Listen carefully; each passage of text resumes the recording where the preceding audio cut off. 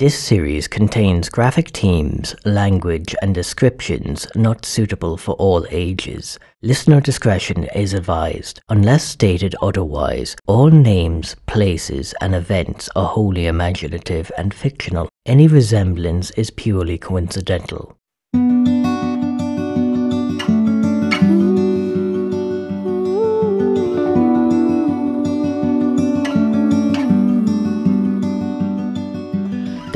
Swallow People by Conor Matthews.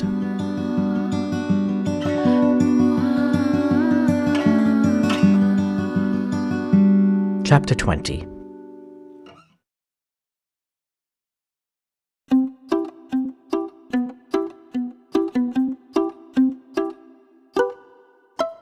We spent the day following a cat.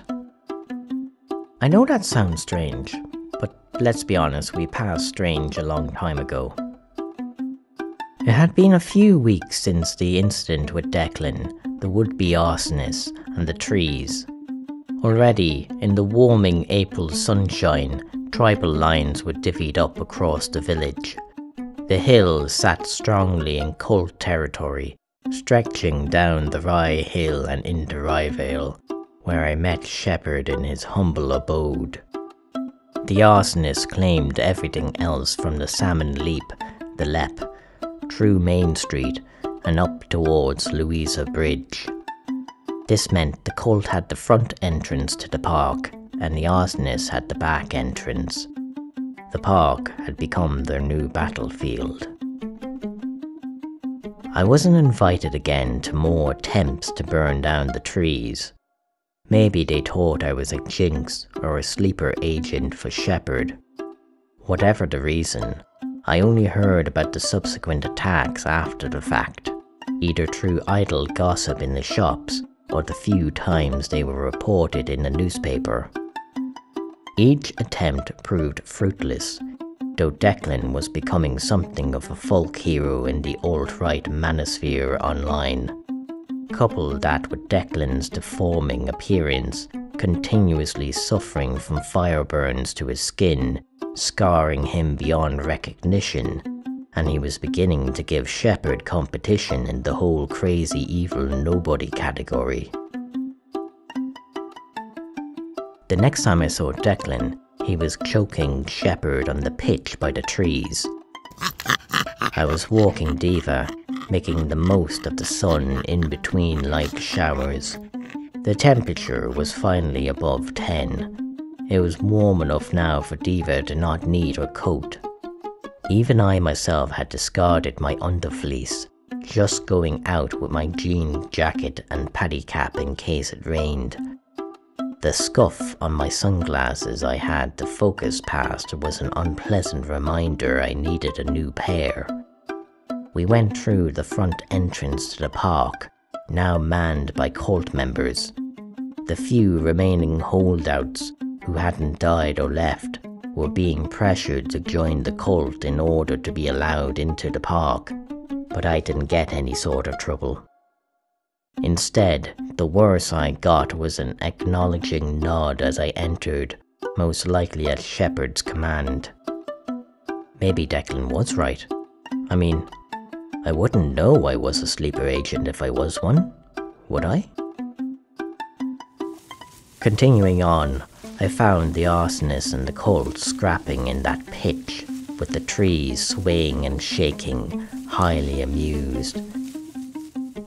The megatree in the center was definitely bigger and was definitely arcing forward. The fat pyramid I had seen before was elongated and stretching so far out its shadow was exceeding past the limits of the paddock walls. Was it just me, or was it listing a little to the right, towards the sun? As with before, the arsonists were overpowered by the surprisingly strong cult members, left fleeing for their lives trying to pat out the flames accidentally catching onto them, or else screaming as they were tossed over the walls. Closest to the trench by the paddock walls was Declan, on top of Shepherd, choking him with his grip, squeezing his neck. Shepherd could only throw punch after punch at Declan's ears, wincing with each blow. We stood there, watching. The trees aren't benevolent. The trees aren't nefarious.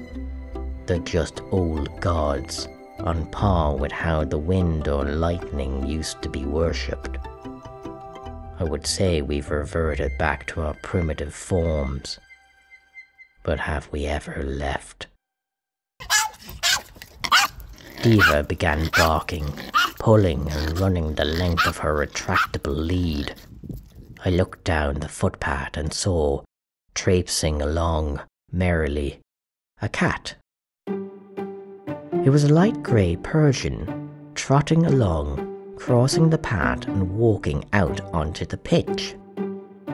I followed it with my eyes, confused by its nonchalance. There were man eating trees enjoying a fight between the cult that worships them and the reactionaries who think they're funded by, I don't know, Bill Gates, let's say. There's a tree growing so tall it looks like it could fall. And then there's this cat. Apparently, I wasn't the only one interested in the cat, as the quarrel amongst the two groups simmered down to a quiet hush. All watched, panning slowly as the cat proudly pranced up the pitch, down the trench, leaped up onto the wall, and then over it, vanishing into the trees. We all waited for several longer minutes. Could the trees now consume animals? Could they attract pets? Would Shepherd have to open a farm to appease them now? No. Our stunned patience was rewarded with only more shock as, to everyone's surprise, further down from where we had seen it vanish, the cat sprang back up onto the wall, contently sitting briefly, licking its belly, before hopping down and trotting back across the pitch. By this point, even Diva had stopped barking, following, as we all did, the cat walking over the bulbous and misshapen pitch.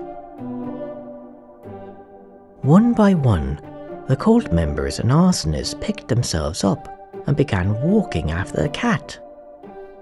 I must admit, it intrigued me as well. I had no reason to follow, but I don't think anyone has a reason for much anymore. You most certainly don't. So, we all followed the cat.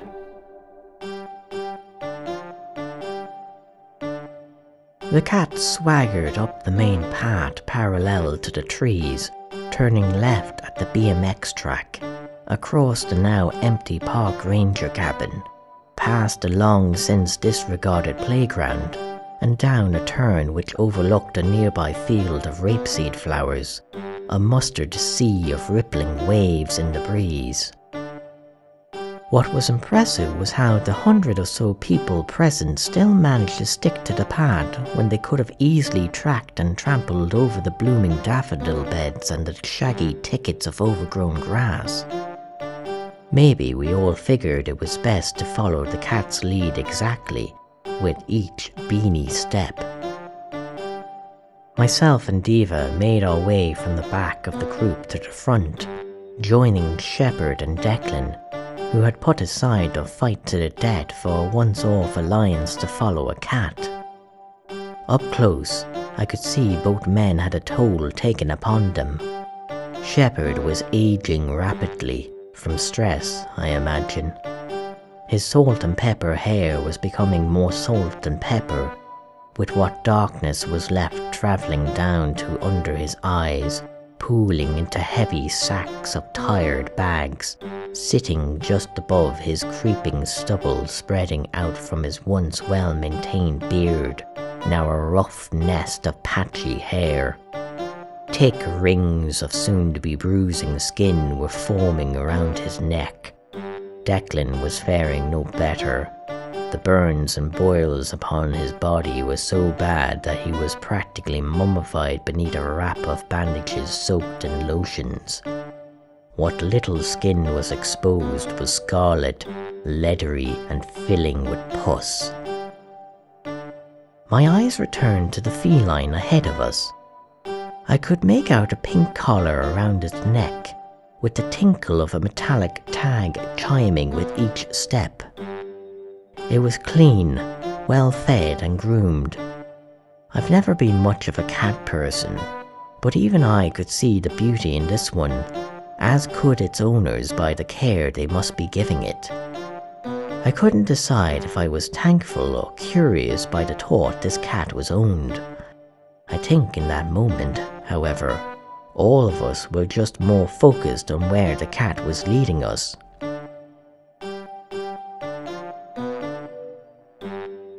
How many people had we all seen vanish into the trees? How many people were driven mad? How had a village been brought to near destitution, yet this cat just leapt in and out as easy as slinking through bushes? How? How could people just leave, never to be seen again, but this little cat could bop in and out, caring nothing for the middle finger it had given all of us? I know it's the but it doesn't make sense. It's not fair. It's not. I've been living in fear for months now, and this thing just doesn't care. It's not right. We tracked the cat all the way through the park, down the road, through the estates and alleyways, out onto Captain's Hill, and down into the River Forest estates. It must have looked bizarre to the last remaining families hiding in their homes, peeking through gaps in their closed curtains, to see a procession led by a fluffy Persian even stranger to see us all turning into a cul-de-sac and follow the cat up to a front door of a house. It sat down in front of a distorted side porch window, staring into it. We all stopped, going between the cat and the window. About an hour later, though it was still bright outside, a hallway light flickered on and the rippling visage of a tall woman appeared about to ascend the blocky shapes of stairs, stopping, spotting the cat. She goes to the door and opens it, allowing the purring cat in, rubbing against her leg. The woman was about to close the door until she double took, opening it wider, looking out, unnerved by the staring throng.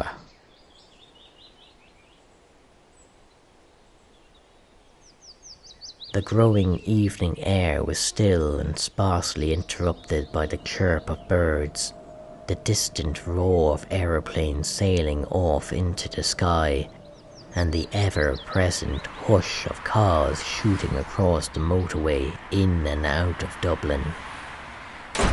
The woman closed the door on us. We all looked at each other, wondering the same thing. Shepherd went up to knock on the door first. A moment later, the woman answered. Shepherd puffed out his chest. Blessings upon you, sister. The trees are pleased by our meeting, for we have come for. She closed the door on us. Declan stepped forward, rapping on the door, knocking vigorously. She answered, though this time repulsed by his unpleasant appearance. Hello, missus. We were wondering could we talk to you about your cat? We want to know. We want to know. Declan stammered. It only occurred to us there and then what did it really matter if the cat could go in and out of the trees? It wasn't like the cat was going to tell us anything. It's a cat, all that seemed to matter was that it was something new, unusual, and, most importantly, more than anyone else had to understand what the trees were.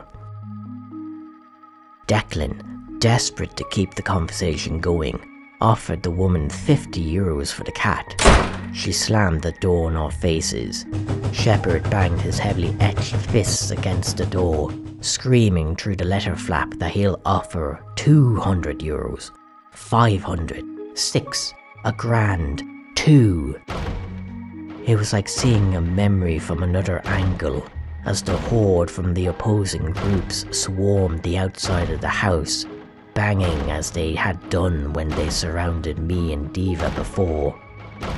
Some hopped over a fence to the back garden, presumably to bang on the back windows and the doors.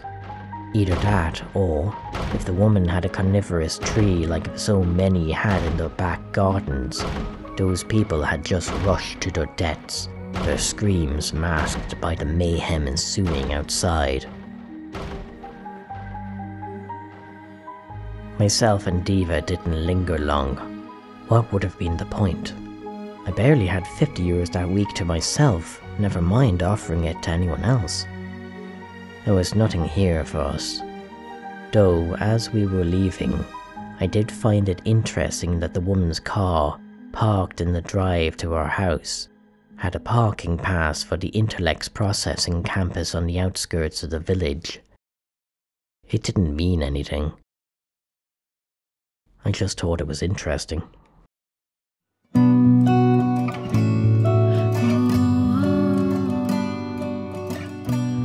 The Trees Swallow People was made possible with a generous bursary grant by Kildare County Council and studio time at Platform 4 Studios in Leixlip, County Kildare, Ireland. The studio engineer was Paul David Dowling. All music and sound effects featured in this episode are credited in the episode description and are available royalty free at pixabay.com. They accept donations. All other rights are retained by the owners the theme song is Forest Lullaby by Les FM.